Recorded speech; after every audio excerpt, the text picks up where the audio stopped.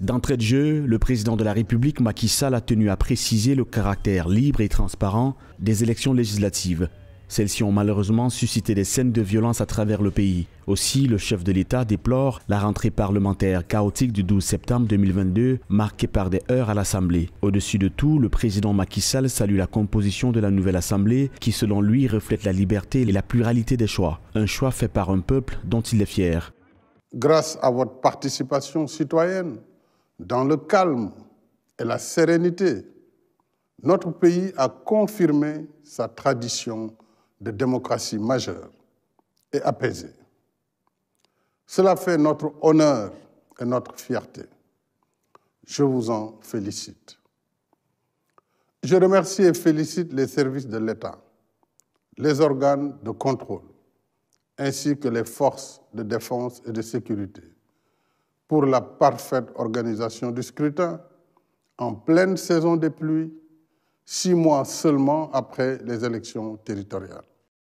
En démocratie, le pouvoir appartient au peuple et le mandat électif n'est pas un privilège, mais une charge à échéance régulière au service du bien commun. Tel un rappel à l'engagement, le président Macky Sall appelle les élus à ne pas se déconnecter de la réalité. Une réalité faite de difficultés que subissent les citoyens qui ont donné mandat dans l'espoir de voir leur vie améliorée au-delà de toute division et déchirement.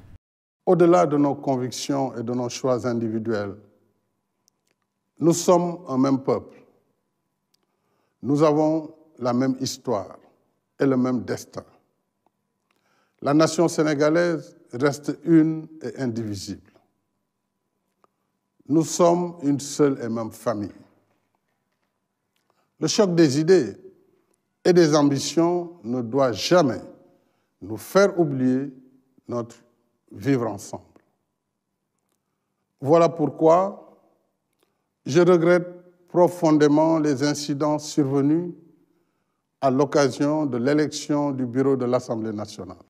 300 milliards de francs CFA de subventions au carburant, à l'électricité et au gaz au 30 septembre 2022, 157 milliards de renonciations aux recettes fiscales pour éviter le renchérissement des prix du riz, du blé, du maïs, du sucre et de l'huile, 120 milliards pour la révalorisation des salaires des agents publics, plus de 43 milliards de transferts d'argent en soutien à 543 000 familles vulnérables. Le discours à la nation du président Macky Sall a également évoqué ces importantes mesures.